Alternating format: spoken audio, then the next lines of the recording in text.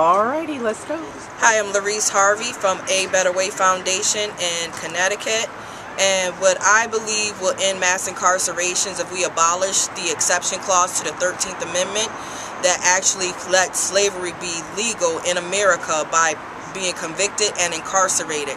Furthermore, what I would do is look at the implementation of the ACA and the intersection between drug policy and criminal justice and how we can actually reunify families and restore our communities by treating drug addiction, aka substance use disorder, as a public health issue and mental illness, and thus addressing the trauma that the families and communities have sustained with over 40 years of the war on drugs.